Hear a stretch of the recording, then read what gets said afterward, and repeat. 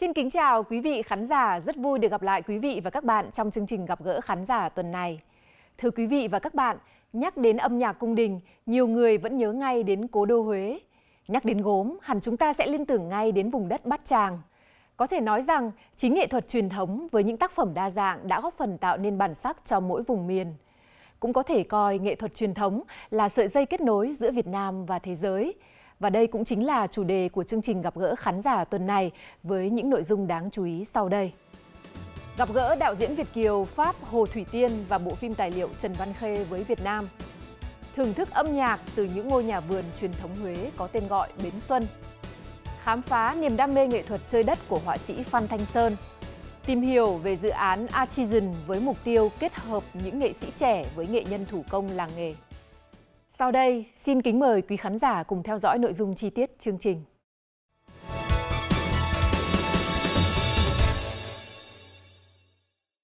Ngày 24 tháng 6 năm 2015, giáo sư Trần Văn Khê, nhạc sĩ, nhà nghiên cứu, giáo sư âm nhạc dân tộc Việt Nam đã ra đi vào cõi vĩnh hằng. Ông đã cống hiến cả cuộc đời đưa âm nhạc truyền thống Việt Nam tỏa sáng trên thế giới – Nhân kỷ niệm 2 năm ngày mất của ông, chương trình gặp gỡ khán giả xin được giới thiệu tới quý vị khán giả bộ phim Trần Văn Khê với Việt Nam. Bộ phim là lời kể về cuộc đời của giáo sư Trần Văn Khê qua góc nhìn của cô cháu gái nhỏ, đạo diễn người Pháp gốc Việt Hồ Thủy Tiên, người vẫn thường chiều mến gọi giáo sư với cái tên là Cậu Hai.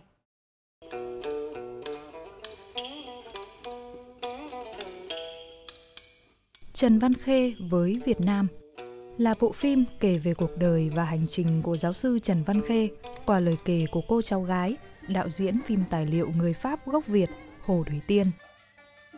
Trong 36 năm sự nghiệp làm phim tài liệu, Hồ Thủy Tiên là thành viên sáng lập Hiệp hội Orchides với mục đích sản xuất, thực hiện và phát hành các sản phẩm truyền thông đa phương tiện trong lĩnh vực chính trị, kinh tế, giáo dục và chống lại nạn phân biệt chủng tộc tại châu Phi, châu Á và châu Mỹ Latin. Bộ phim Trần Văn Khê với Việt Nam vừa được hoàn thành năm 2015, kể lại tình yêu vô bờ bến của giáo sư đối với quê hương đất nước, đối với nền âm nhạc dân tộc Việt Nam, dù cách biệt thời gian và ngàn trùng sông núi. Bộ phim về giáo sư Trần Văn Khê, tôi không nói là giáo sư mà là cậu hai, bởi đó là cậu tôi. Tôi biết tới cậu từ khi tôi 6 tuổi. Cậu đã nuôi lớn tôi, dạy tôi thành người. Cậu hát tôi nghe những ca khúc Việt Nam. và tôi được nuôi dưỡng trong văn hóa Việt. Vào một ngày, cậu nói với tôi rằng, con gái, có rất nhiều người làm phóng sự hay phim về cậu, nhưng cậu tin bộ phim hay nhất thì phải do con thực hiện. Và tôi đã bắt tay ghi hình bộ phim này. 94 năm phải chăng vào tuổi này là khoảnh khắc mà người ta có thể thanh thản ra đi? Nhưng với ông, người hãy còn vương vấn với đời cũng đôi điều mong ước. Với con, cậu mãi là người cha, dìu dắt bước chân khôn lớn thành người, trao bí quyết đến chân trời kiến thức, đến bến bờ những cõi quang vinh, cõi nhân sinh, dấn thân mãi cõi đời. Những thước phim này, cậu và con hằng mong ước những thước phim kể về cuộc đời cậu. Mà hôm nay con động lại như ý nguyện trong di chúc cậu để lại.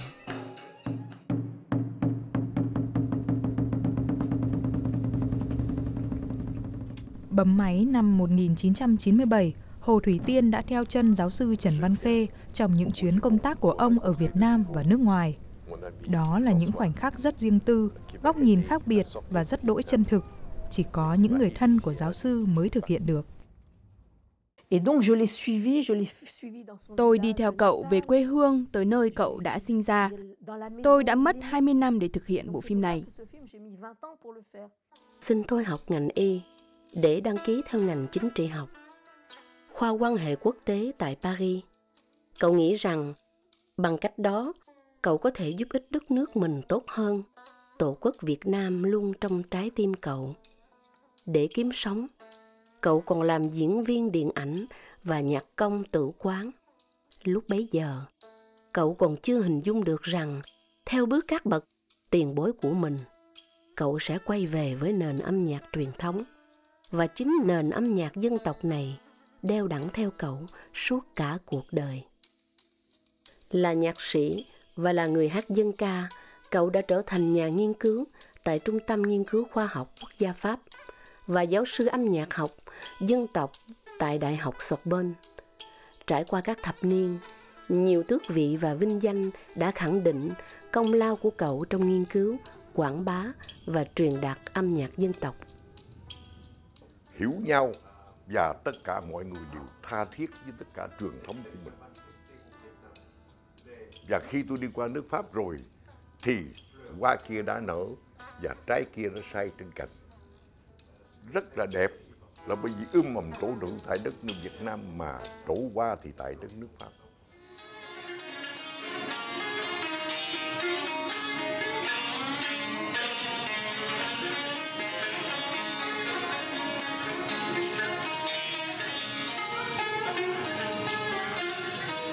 Vâng, ờ, trên cơm có nhiều người tưởng rằng tôi là một người nhạc sĩ truyền thống luôn luôn chỉ nghĩ truyền thống mà không bao giờ chịu mở rộng ra để đón nhạc nước ngoài.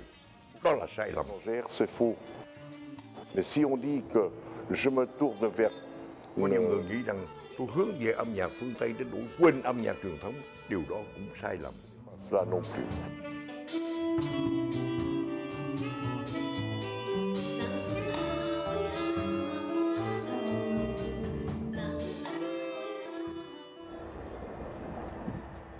Tôi rất vui là tôi là một chiếc cầu thông cảm giữa những thế hệ cổ, gìn giữ giống cổ và những thanh niên sáng tạo ra cái mới. Tất cả tôi làm cái việc đó tôi rất vui vì không phải tôi muốn đem gắn cái âm nhạc cổ điển vô trong cái âm nhạc hiện đại mà tôi chỉ muốn làm âm nhạc Việt Nam nói chung. Hiếm ai biết được đằng sau ánh hào quang đó ẩn chứa một trái tim nhân hậu của vị giáo sư đáng kính qua lời kể của cô cháu gái. Bộ phim nhận được sự hỗ trợ, cộng tác tích cực của giáo sư Trần Văn Khê. Giáo sư đã tin tưởng cho phép Hồ Thủy Tiên được ghi lại từng thời khắc của ông ở khắp mọi nơi, từ lúc giáo sư khỏe mạnh cũng như khi đau yếu. Năm 2005, cậu trở về sinh sống tại Việt Nam. Đó là một ước mơ mà trước kia cậu nghĩ sẽ không thành. Cháu không bao giờ để mất đi ký ức về những cuộc hội ngộ này. Cậu đã tìm thấy niềm đam mê đối với nền âm nhạc dân tộc Việt Nam trên mảnh đất mà cậu đã chào đời. Lòng kiên trì của cậu là vô tận. Thời gian với cậu không bao giờ đo đếm để cậu truyền lại kiến thức cho các thế hệ mai sau. Ở bên nước ngoài, tôi làm công việc cũng phải chỉ có ích lợi cho nước Pháp mà có ích lợi cho nước Việt Nam bởi vì nước Việt Nam chưa được hiểu. Pour la France, qui était un pays de connaissance, un pays de recherche, mais utilise- utile également pour le Vietnam, qui ne se connaît Và đất nước Việt Nam bắt đầu bây giờ tự hiểu mình và thanh niên bây giờ bắt đầu để trở về tìm hiểu cái nguồn gốc của mình. Cảm giác rằng tôi ích là ích lợi cho đất nước tôi từ mỗi giây phút và đó là cái hạnh phúc grand bonheur de ma vie.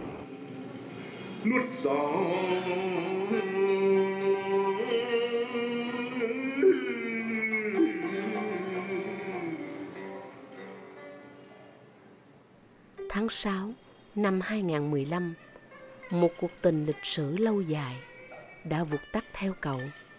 Lịch sử một đời người, cậu lái đưa con thuyền âm nhạc sang bến bờ. Một con người với tình yêu quê hương cháy bỏng. C'est très triste parce qu'il n'a jamais vu le film terminé. Tôi đã hoàn thành bộ phim trong 6 tháng. il Thật sự rất buồn vì cậu không được xem bộ phim. Trong bộ phim, cậu đã kể tất cả những gì cậu tin tưởng, tình yêu của cậu với âm nhạc, tình yêu với đất mẹ Việt Nam và tất cả những gì cậu muốn để lại. Cậu mong mọi người kế thừa và phát huy chúng. Tôi đã rất nhớ cậu. Cậu đã nói với tôi như thế này, khi con đặt tay trên mỗi phím đàn, con cần có tâm hồn. Tâm hồn đó sẽ len lỏi trong khắp cơ thể con. Hãy chơi nhạc bằng cả trái tim. et tout ça.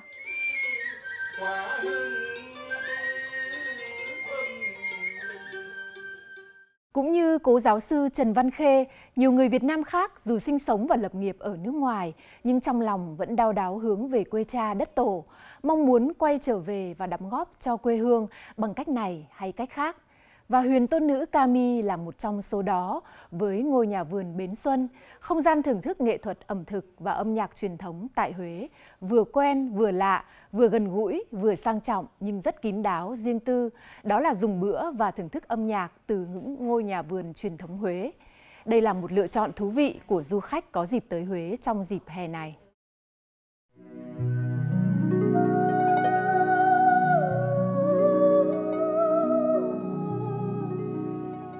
Dù là đêm khuya thanh vắng.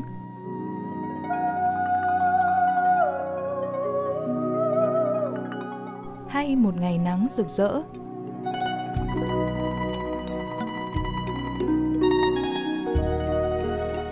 Dù trong không gian vắng lặng, hay trong một bữa tiệc rộn rã,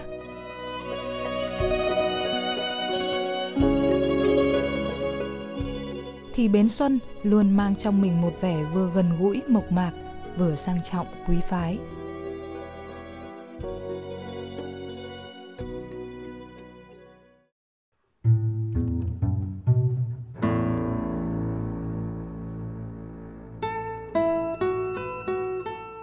Nằm bên bờ sông Hương, gần chùa Thiên Mụ, ngôi nhà theo lối kiến trúc nhà vườn truyền thống Huế có tên gọi là Bến Xuân – vì cái bến là cái nơi yên bình nhất.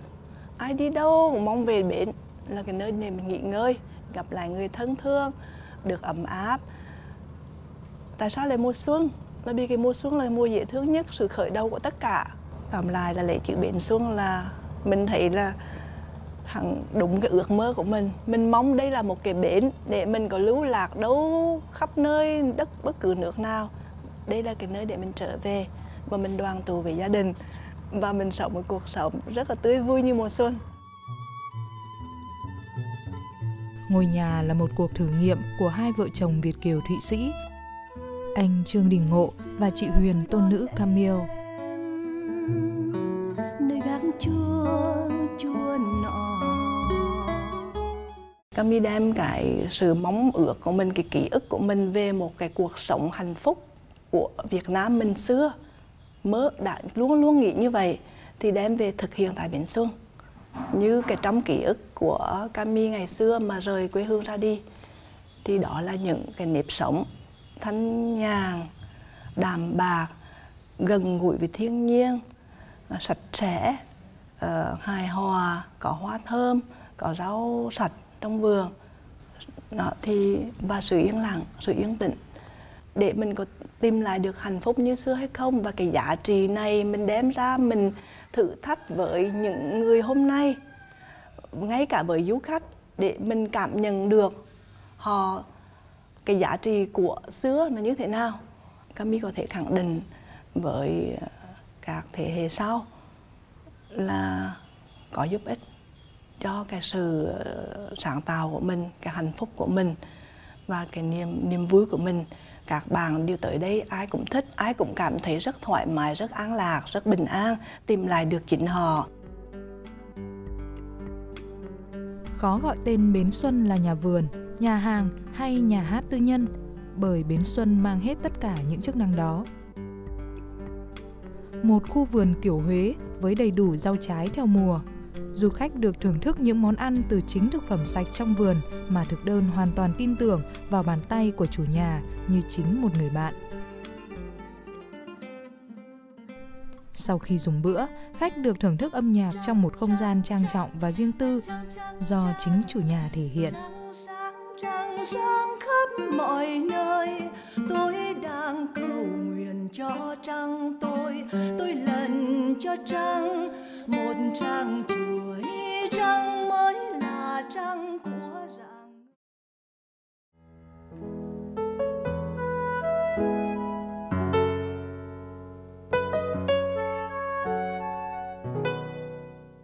Đặc biệt, kiến trúc do chính người chủ thiết kế ẩn chứa những triết lý phương Đông sâu sắc –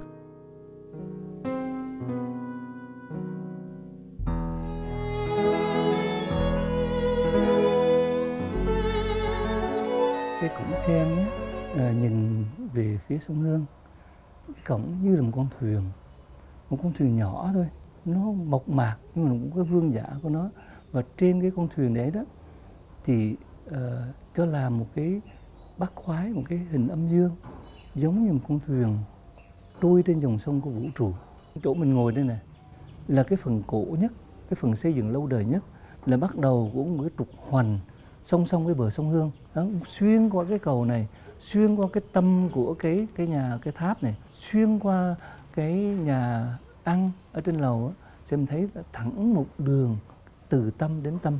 Cái trục tung nhà mình á từ cái vòng nhật nguyệt ở trên đỉnh thẳng cho đến cái vương miện ở trên cái chiếc thuyền ở trên bờ sông Hương đấy là một trục tung thẳng như vậy. Nó muốn biểu tượng là một cái sự rất là ngay thẳng cái sự mà liêm chính nó rõ ràng minh bạch và chỉ có cái sự rõ ràng minh bạch sự rằng từ nó mới đi thẳng từ lòng người cho đến lòng người được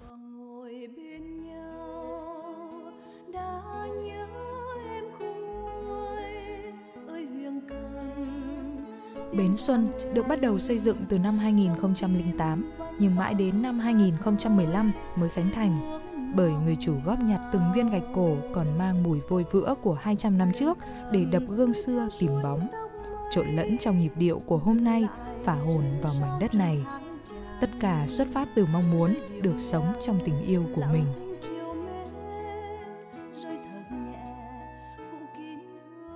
Ở bên đó cho dù cuộc sống như thiên đường nhưng mà không có ngày nào không nhớ về quê hương không không có ngày nào mà không nhớ về Việt Nam bởi vì dù sao đi nữa, mình vẫn mang cái hình ảnh cả một cái đất nước sau lưng mình. Họ nhìn mình, họ vẫn nhìn mình là một đất nước Việt Nam, một con người Việt Nam và một đất nước Việt Nam. Thì cái điều đó nó rất là mạnh đối với mình. Mình phải trở về, mình phải biết là nước Việt Nam mình ra sao. Bởi vì không thể nào mình mang một tình yêu mà mình không về, mình sống trong cái tình yêu đó. Thật sự. Ở Ờ, Thụy Sĩ, anh chị đã từng là cầu nối của mình đối với các cơ quan ngoại giao, đại diện đất nước mình tại Thụy Sĩ. Thì anh chị ở đây muốn là cái cầu nối của người dân Huế, người dân Việt Nam với những người đến thăm Huế. Trong vườn lao sao? Bỗng vang vọng trong tim.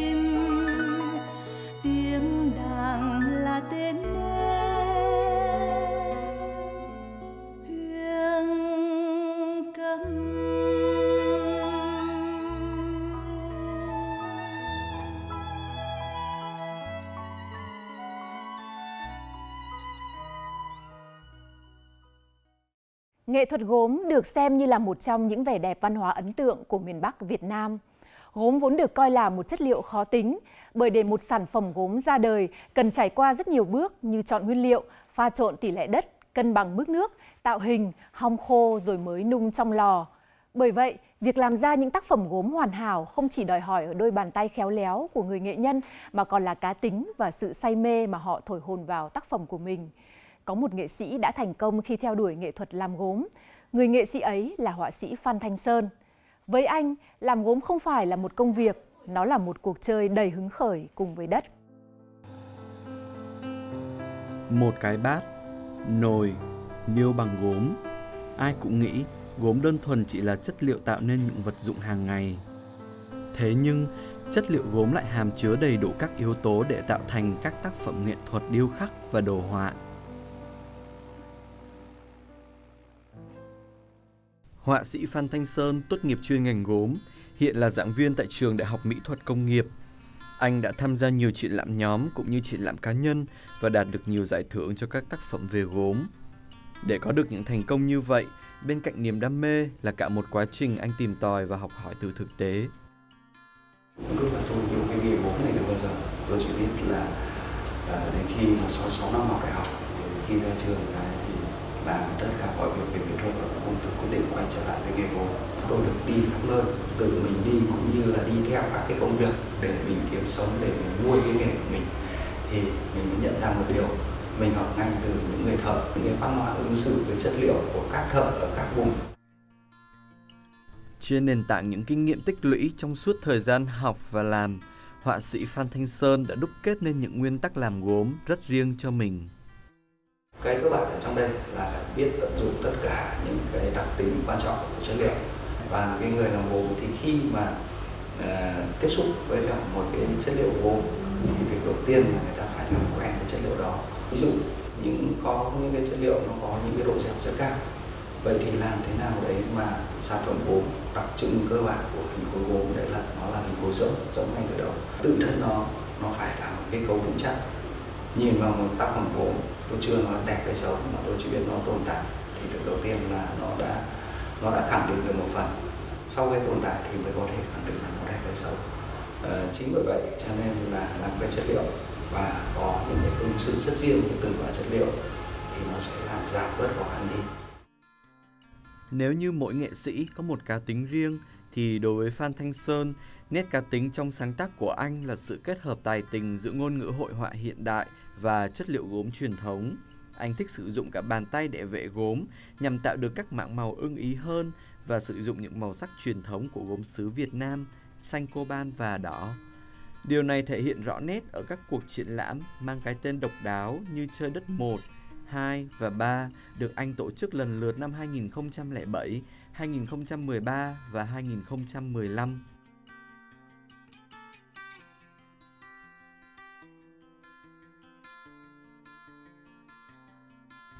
Ja 3, Ja 5, Gió sông Hồng hay Thanh Thản. Các tác phẩm của họa sĩ Phan Thanh Sơn đều xuất phát từ những ý tưởng dân dã đời thường mà không mang nặng tính triết lý, gây ấn tượng với nhiều học giả của nền mỹ thuật nước nhà. Sơn có những cái nổi trội trong sáng tác nghệ thuật của mình và nhất là sự tìm tòi và sự phát triển cái, cái, cái cá tính của mình trong sáng tác nghệ thuật gốm nghệ thuật gốm truyền thống của Việt Nam đã đã đã ông cha ta đã có từ xưa rồi. À, nếu những người nghệ sĩ gốm mà không thổi cái không khí hiện đại vào cái đồ gốm thì thì tác phẩm của mình sẽ không đứng vững và không tồn tại sau này. Sơn đang trên con đường đi tới cái cái cái con đường đó và mong rằng và chắc chắn rằng là anh ấy sẽ có những thành thành công nhất định trong lĩnh vực này không chỉ là một họa sĩ đam mê với việc sáng tác nghệ thuật ở Phan Thanh Sơn còn là một người thầy tâm huyết với việc truyền lửa cho những thế hệ trẻ có chung tình yêu, hoài bão cùng men và đất.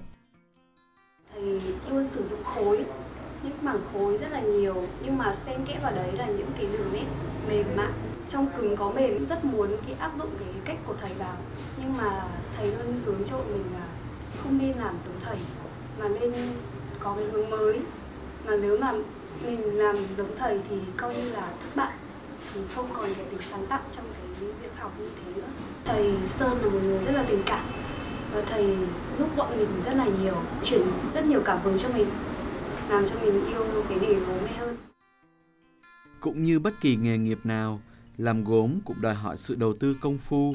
Với họa sĩ phan thanh sơn, anh mong muốn các bạn trẻ dù đang học nghệ thuật nói chung hay chuyên ngành gốm hãy chấp nhận vất vả và tuân thủ theo nguyên tắc của nghề để đạt được những thành công mà mình mong đợi. Niềm say mê của họa sĩ Phan Thanh Sơn đã giúp anh sáng tạo nên những tác phẩm gốm mang đầy tính nghệ thuật.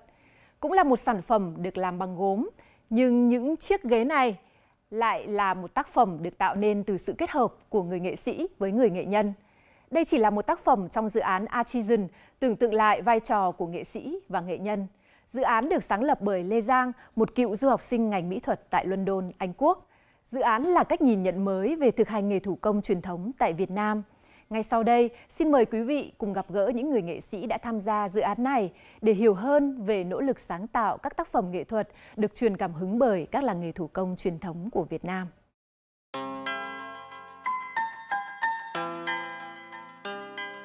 Những chiếc ghế một sản phẩm được làm từ hai chất liệu, bê tông và gốm. Tác phẩm được hoàn thiện vào đầu năm 2017 sau 3 tháng triển khai thực hiện. Những chiếc ghế là sự kết hợp giữa nghệ sĩ Đào Lê Hồng Mỹ và nghệ nhân làng gốm Hương Canh. khi mà mình đến làng nghề gốm hương canh thì họ làm ra các cái sản phẩm gốm và các sản phẩm gốm là thường là để trưng bày để đựng các thứ ví dụ như là họ dùng các cái tiểu hoặc là các cái um, hộp để mà xây tường. Mình cảm thấy rằng là cái việc mà uh, sử dụng một cái chất liệu phế thải có sẵn của làng nghề mà tạo nên một cái sản phẩm với một cái chức năng hoàn toàn khác nó rất là thú vị. Nó tạo ra một cái không gian làng nghề rất là hay. Chính vì thế mà tác phẩm trước ghế là một cái thử nghiệm của mình. Nghệ sĩ Hồng Mỹ đã nhận được sự hướng dẫn và hỗ trợ rất lớn từ những người nghệ nhân. Sự am hiểu của người nghệ nhân với chất liệu gốm truyền thống chính là điểm thu hút cô. Họ hiểu rất là sâu về cái cái công đoạn sử dụng và uh, xử lý để mà tạo ra các cái uh, chất liệu gốm và mình học được rất là nhiều từ những người nghệ nhân. Ví dụ như là cái việc mà sử dụng các cái lò uh, truyền thống thì nó sẽ tạo ra các cái màu khác với cả lò điện lò kiểu mới. Rồi là cái tính chất đất đã dần khác đi qua thời gian. Đào Lê Hồng Mỹ là một trong năm nghệ sĩ tham gia vào dự án Artisan, tưởng tượng vai trò của nghệ sĩ, nghệ nhân. Dự án được khởi xướng vào năm 2016 nhằm khuyến khích sự học hỏi, đối thoại và sự hợp tác giữa các nghệ sĩ, nghệ nhân ở các làng nghề đồng bằng châu thổ sông Hồng. Dự án thì nó chia thành một số giai đoạn. Thì đầu tiên là chúng tôi à, đi nghiên cứu các à, làng nghề miền Bắc. À, sau đó thì à, vẽ lại bản đồ, có một cái sự giao tiếp và nói chuyện giữa các nghệ sĩ nghệ nhân ấy, thì các nghệ sĩ bắt đầu chọn các nghệ nhân ở các làng nghề mà họ muốn làm tác phẩm à, và sau đó lưu trú ở tại làng nghề đó. Đấy là quá trình ờ, làm việc mật thiết giữa nghệ sĩ nghệ nhân để tạo ra tác phẩm cho cái triển lãm cuối cùng là triển lãm kết thúc của dự án. Trong suốt 12 tháng của dự án, nhóm nghệ sĩ đã đi khảo sát hơn 50 làng nghề tại các tỉnh lưu vực sông Hồng. Chịu ảnh hưởng bởi thẩm mỹ phương Tây, cả năm nghệ sĩ đều khai thác những chất liệu truyền thống theo những cách thức rất sáng tạo. Năm tác phẩm cuối cùng là những cách tiếp cận nghệ thuật khác nhau. Ở tác phẩm của tôi là Lê Giang thì cái khảm trai ấy, vẫn được giữ nguyên vẹn là cái khảm trai và nó ờ, vẫn sử dụng cái kỹ thuật của khảm trai nhưng mà lại đặt nó lên một chất liệu khác khá là thô đấy chất liệu thạch cao và tác phẩm của chị Hằng thì là nó là một cái sự khác đấy là vẫn giữ cái uh, ý niệm đấy là những bộ quần áo vàng mã. Nhưng mà chị đã chuyển đổi từ những um, cái để mà hóa đi hóa thành cho ấy, thì bây giờ được sử dụng như là một cái có thể chúng ta dùng hàng ngày. Trong năm đầu tiên, dự án Artisan là sự thử nghiệm kết hợp giữa ý niệm của các nghệ sĩ và kỹ thuật của các nghệ nhân. Dự án như một nỗ lực bước đầu nhằm tìm ra các tác phẩm mới cho các làng nghề truyền thống. Sau cái dự án này ấy, thì quan niệm là phải làm thế nào để mà chính các nghệ nhân họ cũng được họ hưởng được thành quả từ cái sự kết hợp này thì tác phẩm này những cái sản phẩm nó có sự kết hợp thiết kế khéo léo nhưng mà nó còn phải có tính ứng dụng và nó còn có thể tiêu thụ được ở cái giai đoạn tiếp theo thì chúng tôi có thể hướng tới là làm thành những cái sản phẩm mà nó có cái khả năng uh, thương mại được. Những người nghệ nhân với kinh nghiệm làm nghề, với câu chuyện được gửi gắm trong từng chất liệu đã tạo nên những sản phẩm thủ công truyền thống bền vững qua thời gian. Nhưng với sự sáng tạo của người nghệ sĩ, những sản phẩm ấy sẽ có cách tiếp cận mới và ngày càng có nhiều cơ hội đến gần hơn với công chúng. Có lẽ với sự kế thừa và sáng tạo không ngừng, hơi thở của nghệ thuật truyền thống sẽ còn được tiếp nối giữa các thế hệ. Chương trình gặp gỡ khán giả tuần này cũng xin được khép lại tại đây. Mọi đóng góp và chia sẻ của quý vị xin hãy gửi về cho chúng tôi qua địa chỉ chuyên mục gặp gỡ khán giả phòng chuyên mục tiếng Việt Ban truyền hình đối ngoại Đài truyền hình Việt Nam 43 Nguyễn Chí Thanh, quận Ba Đình, Hà Nội, Việt Nam. Quý vị cũng có thể xem lại chương trình của chúng tôi trên trang điện tử vtv4.vn hoặc trên kênh YouTube tại địa chỉ www.youtube.com gạch chéo vtv4go. Xin kính chào và hẹn gặp lại quý vị và các bạn trong các chương trình lần sau.